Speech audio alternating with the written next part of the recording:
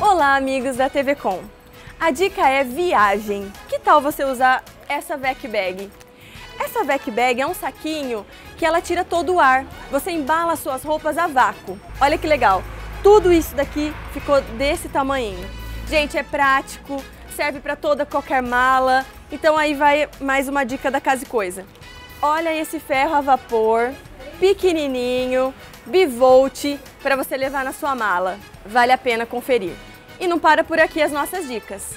Necessairezinha, para dormir na viagem, olha essa máscara que legal, e eu tenho vários desenhos dela. Aqui é para você colocar o seu shampoo, seu condicionador, você organiza as suas coisas na mala. A gente precisa pensar em tudo. Pode acontecer de rasgar uma roupa, de descosturar uma barra. Isso daqui, ela é uma bainha instantânea. Ela funciona da seguinte forma. Você dobra onde você precisa costurar e não precisa de agulha nem de linha, é só passar o ferro. Protetor de assento, a gente nunca sabe onde que conseguiremos parar, num posto legal ou não. Você que tem criança principalmente, precisa ter um desse na sua bolsa quando você for viajar.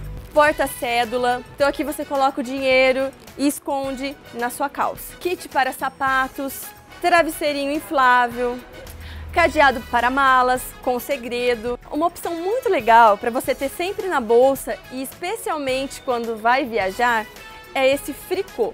Ele é um produto que ele é o único desodorizador de odores sanitários. Liberte-se da saia justa. Se a sua viagem é para praia, eu tenho uma outra opção muito legal para vocês. Olha essa bolsa térmica. Aqui, ó, essa aberturazinha certinha para você pegar latinha de refrigerante ou latinha de cerveja. Internamente, ela possui esse saquinho que você tira para fazer a limpeza. Outra parte, ó, para você deixar celular e também é uma ótima opção para presentear esse final de ano. Você vai encontrar muitas outras opções para presentear quem você ama, para viajar. Então, vem para Casa e Coisa!